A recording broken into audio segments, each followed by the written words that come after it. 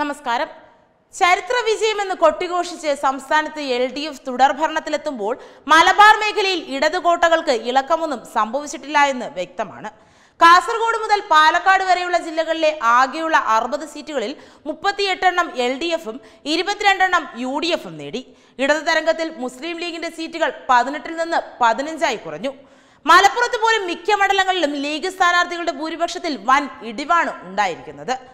താനൂരിൽ sitting M L A V Abdurahman Muslim Youth League സംസ്ഥാന general secretary P K ഫിറോസിനെ നൂറ്റി ഇരുപത്തിയൊൻപത് വോട്ടുകൾക്കും തവനൂരിൽ sitting M L A K T Jaleel charity പ്രവർത്തകൻ ഫിറോസ് കുന്നിപ്പറമ്പലിനെ രണ്ടായിരത്തി അഞ്ഞൂറ്റി അറുപത്തിനാല് വോട്ടുകൾക്കുമാണ് പരാജയപ്പെടുത്തിയത്.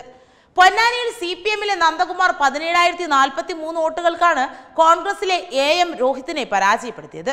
കേരളത്തിലെ ഏറ്റവും കുറഞ്ഞ ഭൂരിപക്ഷവും ജില്ലയിൽ തന്നെയാണ്. പെരിന്തൽമണ്ണയിലെ യു ഡി എഫ് സ്ഥാനാർത്ഥി Youth League senior vice president Najeeb Kanthapuram മുപ്പത് വോട്ടുകൾക്കാണ് ഇടത് സ്വതന്ത്രൻ കെ പി മുസ്തഫയെ പരാജയപ്പെടുത്തിയത്. എന്തായാലും നാണക്കേട് തന്നെയാണ് തീർത്തും മുസ്ലിം ലീഗിന് ഉണ്ടായിരിക്കുന്നത്. കോൺഗ്രസിൽ വൻ തോൽവി ഏറ്റുവാങ്ങിയ സ്ഥിതിയിൽ സീനിയർ നേതാക്കൾ തോൽവിയുടെ ഭാരമേറ്റെടുത്ത് പിന്നിലേക്ക് മാറിയാൽ നേതൃത്വം വി ഡി സതീശനടക്കമുള്ള യുവത ഏറ്റെടുത്തേക്കും. രമേശ് ചെന്നിത്തല പ്രതിപക്ഷ സ്ഥാനം ഒഴിയാൻ സാഹചര്യമുണ്ടായാൽ വി ഡി സതീഷിനെയാകും യു ഡി എഫ് ഈ സ്ഥാനത്തേക്ക് പരിഗണിക്കുക. നിലവിലെ സാഹചര്യത്തിൽ പിണറായി സർക്കാരിനെതിരെ പ്രതിപക്ഷ നേതാവായി രമേശ് ചെന്നിത്തലയ്ക്ക് വിജയിക്കാനായില്ല എന്നാണ് സൂചിപ്പിക്കുന്ന ഫലങ്ങൾ.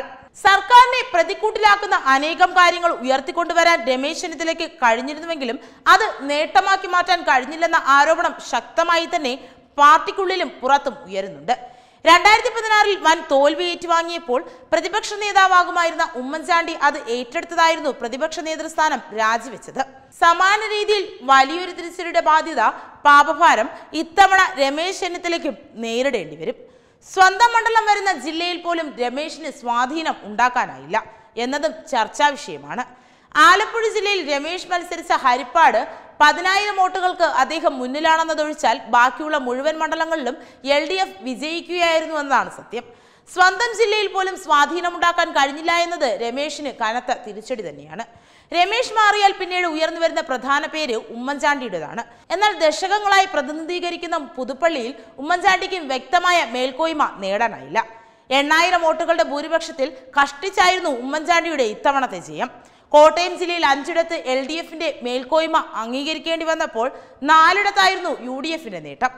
ഇന്ത്യയിൽ തന്നെ തിരിച്ചടി നേരിട്ടുകൊണ്ടിരിക്കുന്ന കോൺഗ്രസിന് കേരളത്തിലെങ്കിലും ഭരണം കിട്ടാതെ നിലനിൽപ്പില്ലെന്ന തിരിച്ചറിവിലാണ് തെരഞ്ഞെടുപ്പ് പ്രചരണത്തിന് ഉമ്മൻചാണ്ടിക്ക് കൂടി ദേശീയ നേതൃത്വം ചുമതല നൽകിയത്.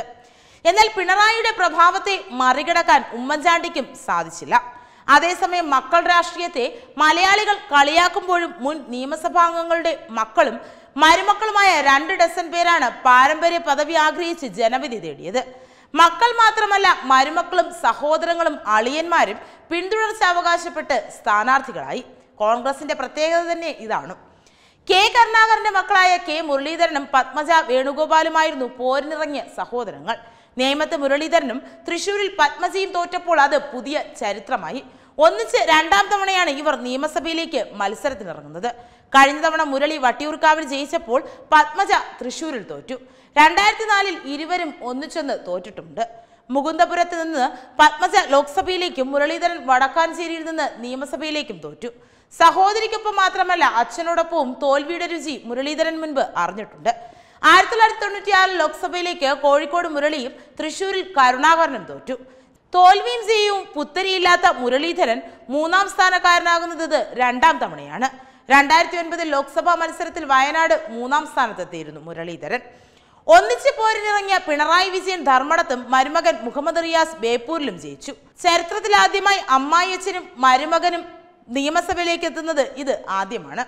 പിണറായി ആറാം തവണ നിയമസഭയിലെത്തുമ്പോൾ റിയാസിന്റെത് കന്യജയമാണ് മത്സരത്തിലുണ്ടായിരുന്ന അളിയന്മാർക്കും ദയനീയ തോൽവി ഏറ്റുവാങ്ങേണ്ടി വന്നു. കെ മാണിയുടെ മകൻ ജോസ് കെ മാണി പാലായിലും മരുമകൻ എം പി ജോസഫ് തൃക്കരിപ്പൂരിലും തോൽവി രുചിച്ചു ആറ് തവണ പ്രതിനിധാനം ചെയ്ത കോൺഗ്രസ് നേതാവ് മുഹമ്മദ് അലിയുടെ മരുമകൾ ഷെൻ നിഷാദ് ആലുവയിൽ സി പി എം സ്ഥാനാർത്ഥിയെ മത്സരിച്ചുവെങ്കിലും തോൽവി ഏറ്റുവാങ്ങി. ജനവിധി തേടിയ മുൻ നിയമസഭാ അംഗങ്ങളായിരുന്നവരുടെ ഭർത്താക്കന്മാരിൽ ഒരാൾ ജയിച്ചു ഒരാൾ തോറ്റു.